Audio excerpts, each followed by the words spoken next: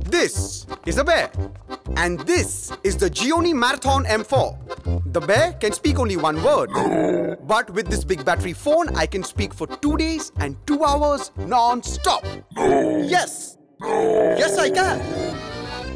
Gionee Marathon M4. Always in power.